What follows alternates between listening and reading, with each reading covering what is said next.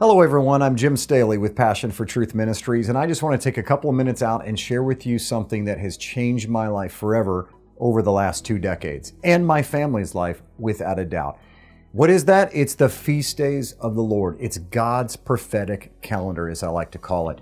Every one of us have a calendar. We have a family calendar. Guys, you have a calendar. Wives have a calendar. Quite frankly, they they trump all calendars, right? We've got the school calendar. There's all kinds of calendars that are out there. But what about God's? What is the dates on his calendar that are important to him? And do we even know what they are? And are we in sync with that calendar? When I was introduced to this calendar over two decades ago, it really impacted me. My first thought was, wait a minute, like uh, I already have a calendar. I, you know, keep Christmas and, and Easter and Valentine's Day and St. Patrick's Day and all these different days were on the calendar. And then I realized that that was not the calendar that God gave us in the Bible, but that was the calendar that man gave us over time and quite frankly through the Roman church in the early few hundreds after Christ uh, died and rose again. And so as I began to kind of relook at this calendar, it began to dawn on me that this calendar wasn't given to just Israel. This was given to anybody that called upon the name of the Lord. As a matter of fact, uh, most people, when they talk about Passover or the Feast of Tabernacles or Pentecost, they say, oh, those are Jewish holidays. Those are the holidays that belong to the Jews. But then you go back to the Bible and you discover that God says something completely different. Leviticus chapter 23 1 says this It says, These are the feasts of the Lord, which you shall proclaim to be holy convocations. These are my feast. Nowhere does it say that these are his people's feast. He says, These are the feast of Yahweh. These are my feast. These are my holidays. These are my anniversaries, my uh, wedding rehearsals that I give you that are connected to the first and second comings of Christ. And so that's what I want to actually propose to you is to show you that we have been defrauded as Christians for almost 2,000 years since God's prophetic calendar was put aside for the new Gentile Roman calendar to come into place. And really, quite frankly, it, happened out of anti Semitism. They didn't want to appear to be like the Jews who were uh, and the early Christians who were Jewish that were keeping God's prophetic calendar, so a new calendar system was introduced slowly over time. But the reality of the calendar is that it's split into two completely different feast days. The feast days in the spring, there's four of those, and those all relate to the first coming of Christ. And the second uh, feast day set, which is the fall feast days, and those all relate to the second coming of Christ. If we had have known, if I would have known for the last 30 years of my life, I'm almost 50 years old now, but being a believer for over 25 years of my life, if I would have known that all of these prophetic calendar feast days were all about Jesus, I would have been looking into them all along. And so let's just go through each and every one of them and show you the power of these feast days and what we've been missing and the richness that they hold for us and the curriculum that God built into them to teach our families so that our children can grow up in the way that they should go and not depart when they get older. All right, so Passover is the very first one in the spring. Passover technically is not a day, but an evening. It's actually a meal. This is the Last Supper in the Gospels where Jesus Christ, he sat down with his disciples. He had a Passover Seder meal.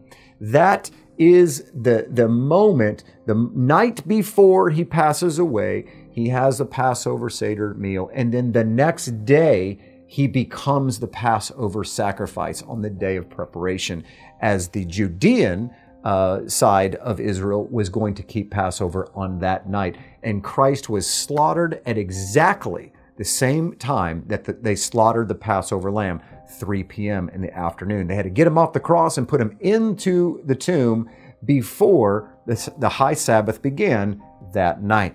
It wasn't a Friday. The high Sabbath was the first day of unleavened bread.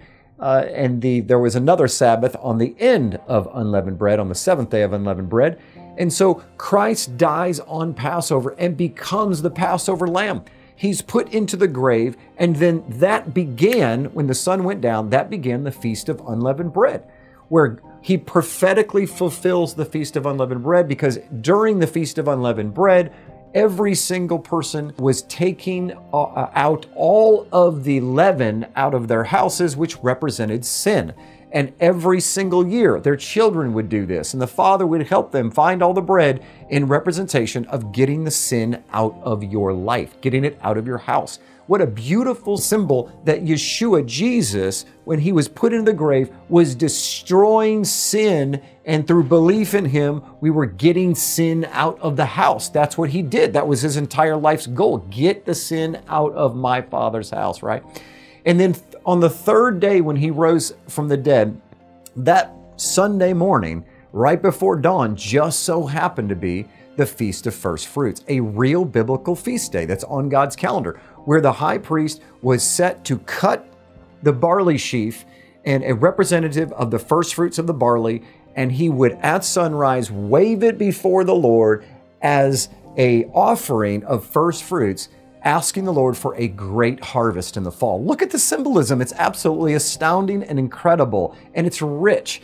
Jesus is raising from the dead. He is cut from the grave as the first fruits, he says, of the resurrection and then he's presenting himself before the Father, asking God for a great harvest in the fall. He's fulfilling Passover as the Passover lamb. He literally removed sin uh, from the house during the Feast of Unleavened Bread, and he became the first fruits offering of the great harvest in the fall. But that's not the last one. 50 days later, we come to the feast of Shavuot. And by the way, that in Greek is called Pentecost. You might be more familiar with the Greek term Pentecost.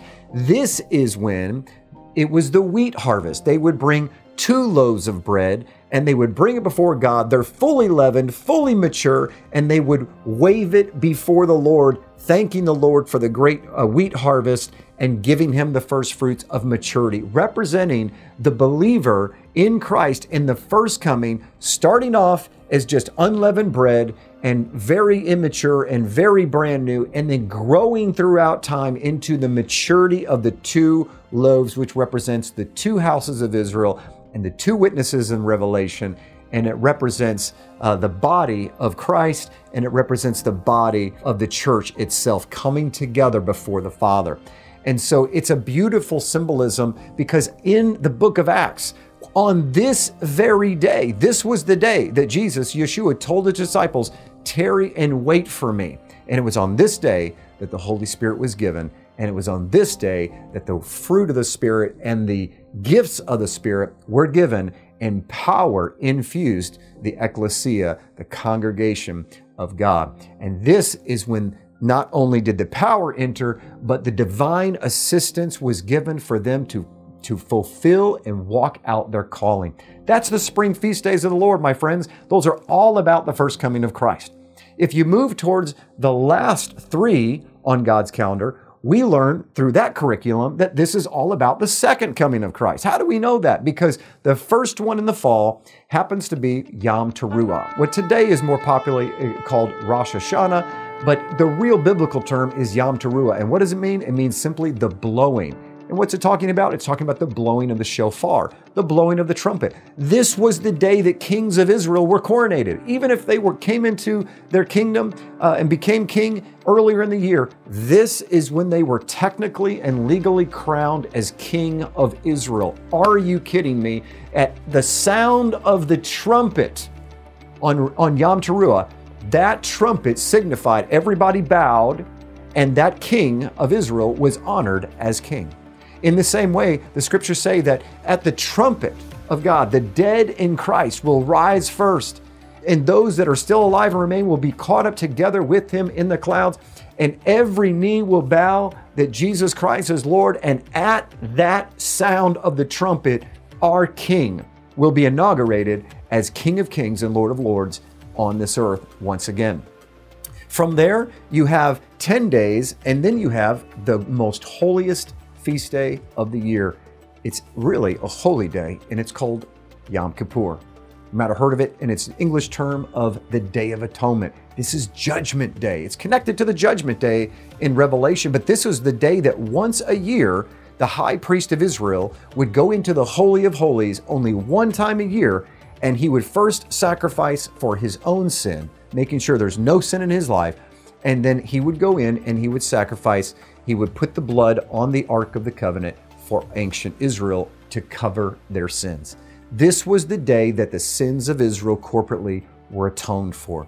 And the symbolism is in unbelievable and very deep into our own lives as believers because the high priest Jesus Christ, Yeshua the Messiah, went into the Holy of Holies with his own blood and he put it on the Ark of the Covenant in the heavenly realm. And what did he do? But he forgave and atoned and redeemed us back into his family. Amen.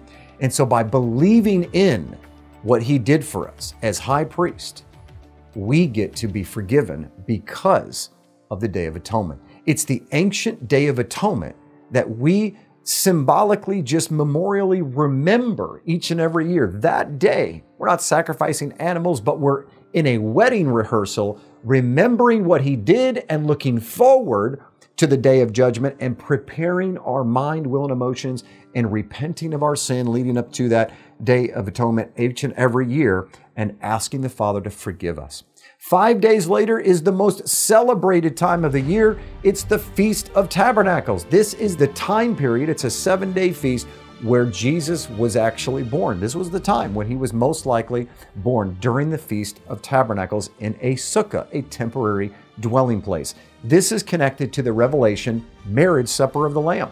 So for seven, eight days, lots of people, millions of people, in fact, all across the globe, go out in tents or RVs, campers, in their temporary dwelling places, and they honor the festival of Sukkot by celebrating and worship and doing everything from having uh, worship services to messages to sitting around bonfires to reading their Bibles, reconnecting with their family, and living life in abundance during that week, recognizing that there will be a day in the future where the Father will come get us and he will not only retrieve his bride, but there will be a great wedding feast in the heavenly realms. So it's not about the legalism of celebrating these, it's the fact we get to.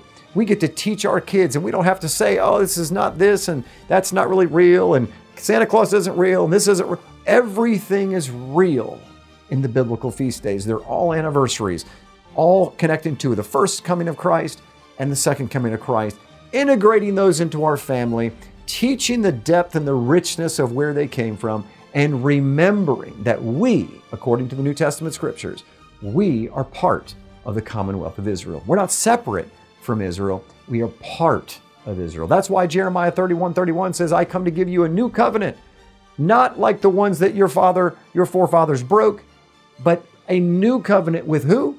The house of Israel and the house of Judah. My friends, there's no house of Gentiles. If you're considered in the new covenant, you are part of Israel. And that's what Paul says when he says that you were once far off and alienated against Israel, but now through the blood of Christ, you've been brought near and made part of the commonwealth of Israel, and you're part of the covenants of promise. We get to do these things. And if we would have been doing these things all along, and if our Roman forefathers had not put aside God's calendar and given us a new calendar, we would not only be keeping the calendar of God today, but I believe prophetically our Christian lives would be so much more richer, our divorce rates would be lower, our intimacy would be greater. Why? Because we would be doing Bible things in Bible ways. And the more that you seek to do the heart of the Father, like 1 John chapter 5 says, here is the love of God. Those who love God keep his commandments, and his commandments are not burdensome. Not burdensome because they're so rich with prophetic symbolism and they connect us like an anniversary. It is not a burden for me to celebrate my wedding anniversary, it is a joy. It's also a commandment in my house and probably your house too, but it is a joy and a great reward indeed. My friends, going all the way back, I want to leave you with one other thought. Genesis chapter 1, verse 14. In that, it talks about how God separated uh, the sun, moon, and the stars, and he put them in the sky for signs and for seasons. Well, that word seasons is not summer, spring, winter, or fall, like it's suggested in the English. Quite frankly, it's the complete opposite. It's the season of the Lord, it is the feast day of the Lord. That word in Hebrew is not like it is in English, it is Moedim. And the word Moedim means appointed time. It's a feast day or a festival. You can look it up in the Strongs. It's completely connected to the holy convocations of the Lord from Leviticus chapter 23.